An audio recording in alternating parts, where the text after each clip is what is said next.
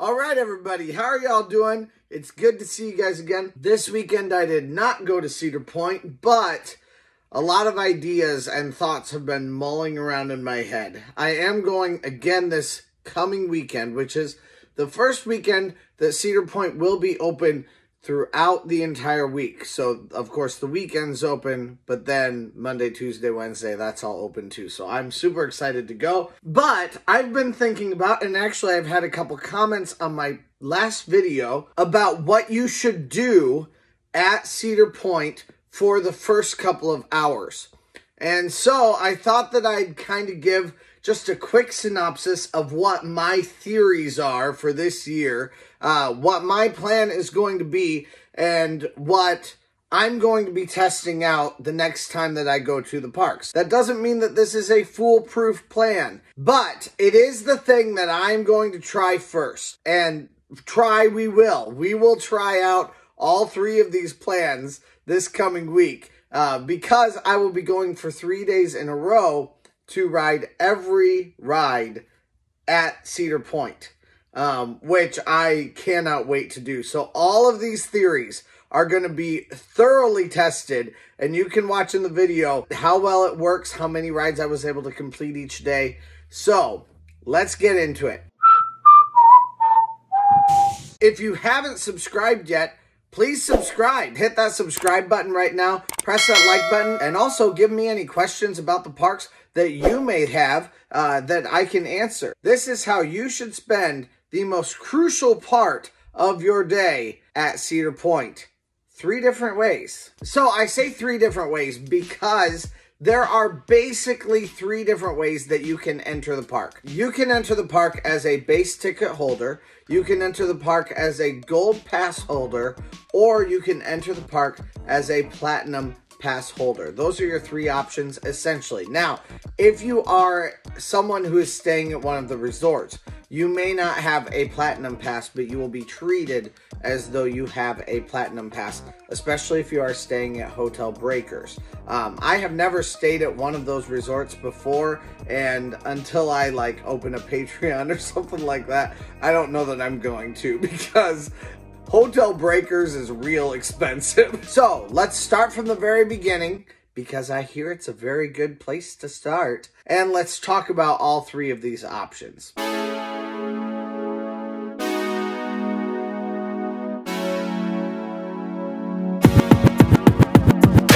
Now, if you are a base ticket holder, if the park opens at 10 o'clock, you are allowed to get in at 10 o'clock, from what I understand. It is possible that Cedar Point might let people in a little bit early.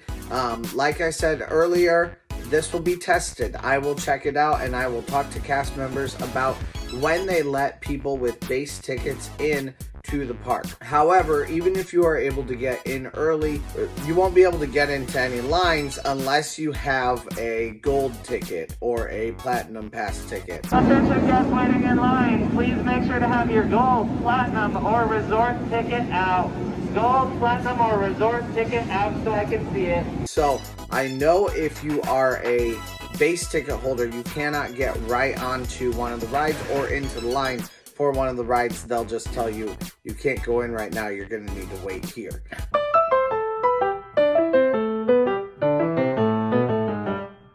The first thing you should do as a base ticket holder is you're going to come in at 10 o'clock. The park is already going to be partially filled. You're going to have to compete with some lines a little bit early. My recommendation for you at that point is to ride the middling rides like Gatekeeper or like Valravn. They're not as small as like Iron Dragon. Those are going to get pretty big lines pretty quickly. However, if you try to go straight to the back of the park and you try to hit the rides that are in Frontier Town, um, you try to hit the the big ones, you know, like you try to go to Steel Vengeance right away, you're going to be in a three hour line from the very beginning, almost guaranteed. Uh, those rides are immediately popular, and especially right now with Frontier Festival going on too, um, uh, that back of the park is extremely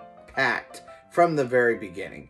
Um, so I do not recommend going straight to the back of the park. In my estimation, don't waste time while you're walking across the park. That's never helpful. I kind of recommend trying to hit rides that are close in one area or another. That goes for all three different ticket designations.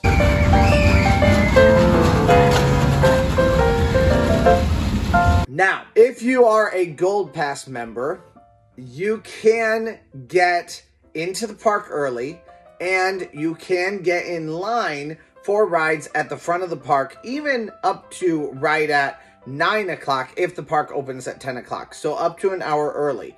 Um, I think they are supposed to let you in at 9.30, but it looks to me like they just kind of let everybody in. But you can only get the rides that are at the front of the park. So take full advantage of that. At 9 o'clock, maybe grab a snack, grab some sort of a drink, um, and hang out in line for whatever the ride is that you want to ride first. That includes Gatekeeper, that includes Valravn, that includes Blue Streak, that includes Raptor. Hopefully, you can get maybe a 15 minute line in one of them uh, when 9.30 comes around, and then you can book it straight to another ride and get another I don't know, maybe 20 minute line. That might be the most helpful for you. That way you can take most full advantage of that first half hour in the park. Like you may have seen in my last video, there were people lining up very early on uh, with gold passes. So don't be afraid to line up.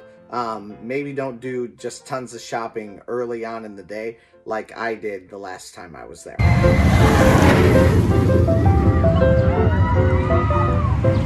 Now, if you have a platinum pass, things change dramatically for you. With a platinum pass, you are allowed into the park an hour before park opening, so 9 o'clock if the park opens at 10 o'clock, and you are able to go straight to the back of the park. At the back of the park, it is exclusive access for you to ride anything that you want. I saw a lot of 10 minute waits at the back of the park when I checked out the app the last time that I was there. So go straight back there and hit whatever you want. of course, I would recommend hitting those two big ones right away, especially the two in Frontier Town. Um, Millennium Force and Dragster of course, they still get very big lines, but they don't seem to get as big of lines as our Frontier Town duo. Um, those ones really seem to get the biggest lines, so you want to hit those just absolutely as fast as you possibly can. Um, so if you can get in there and you can get an hour long wait, you still have quite possibly saved yourself two hours of waiting uh, because it's not unusual to see a three hour wait for those Frontier Town rides. so, anyway, if you guys have any questions, please leave them down in the comments. Like I said, this is a little bit of conjecture from me right now. This is me mulling over what I learned this last weekend and me going, okay, now when I go this next weekend, what am I going to try to hit? So I like I said, I will be testing this out and I will be planning to be there for 3 days in a row at least. Um the first day, I will pretend like I don't have any pass at all. And I will enter when everybody else enters with just regular tickets.